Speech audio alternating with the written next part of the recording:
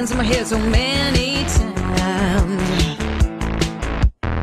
But then I learned after being burned, to get back up and go straight on. Stop the tears, people move.